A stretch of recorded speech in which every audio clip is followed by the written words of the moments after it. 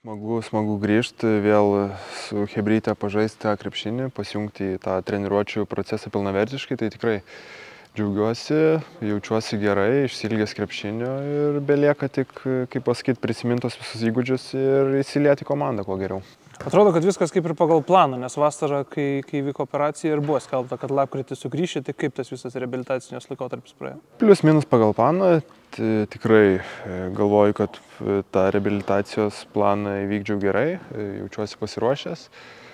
Daug dirbau su kinesterapeutais, daktarais, tai tikrai džiaugiuosi, kad aplinkiniai žmonės man padėjo grįžti ir, ir kaip pasakyti, dabar viskas priklauso nuo manęs. Ar čia ilgiausia, kiek esi buvęs be krepšinio? Taip, taip, ilgiausiai iš tikrųjų turbūt, aš nežinau, ant vienos ar dviejų rankų pirštų galėčiau suskaičiuoti, kiek tų rungtynių esu praleidęs. Tai toks ilgas laikotarpis, pirmą kartą nebuvo lengva, bet, bet galvoju. Kaip sekės nuo solo komandą stebėti?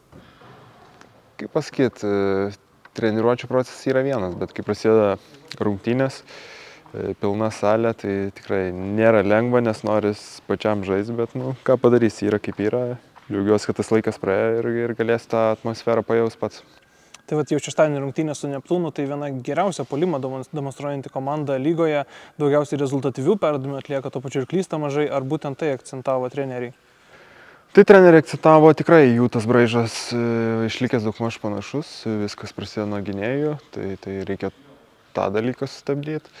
Vis tiek ir brandolys likęs, ir, ir treneriai tie patys, tai tas braižas daug nepasikeitęs, tai tai reiks juos stabdyti pavieniai, nes tikrai e, individualiai stipri komanda, tai jeigu stabdysim gynėjus, manau, kontroliuosim rungtynės. Nebus šitos rungtynės, kur po šimtą taškų abidvi komandos sumet? Nežinau, nežinau, žiūrėsim, bet e, nu, faktas turim, jeigu kontroliuosim juos, tai tikrai nebus, kad jie permes mūsų ar šimtą taškų. Rytoj taip pat neįlinė diena ir mūsų klubui į palubės pirmą kartą kelsim Arvido Macijausko marškinėlius. Kokios tau mintys galbūt kyla pagalvojus apie Matsą, pats vaikystė irgi turbūt stebėjo žaidimą? Taip, taip, iš tikrųjų Matsas vis tiek legenda yra. E, prisimenu, mažas būdamas dar, dar žiūrėdavau ryto rungtynės, tai užstrigęs iš tų laikų. Vis tiek geras krepšininkas, kaip pasakyt, klubo legenda, tai, tai tikrai manau jis nusipelnęs to ir e, džiaugiuosi, kad turiu progą sudalyvauti kaip žaidėjas e, tam renginį, kur kelsiu marškinėlius viršų. Ir dar grįžti į aikštelę. Būtent, būtent tai tokia simboliška, simboliška proga. Nemažai fanų klausia, kaip bus, kadangi numeris jūsų sutampa. Arvido su septinto marškinėlio numeris kelsime į aikštelę. Kokios tavo pačio mintys dėl to būtų? Ar esi e, pasirengęs pasikeisti numerį, jeigu reikia? Žinot, dėl, dėl tokių žmonių kaip Maciauskas visada, visada pasiruošęs, tai, na, nu, iš tikrųjų dar negalvojau, tai žiūrėsim, bet manau, būčiau pasiruošęs, tai čia ne problema.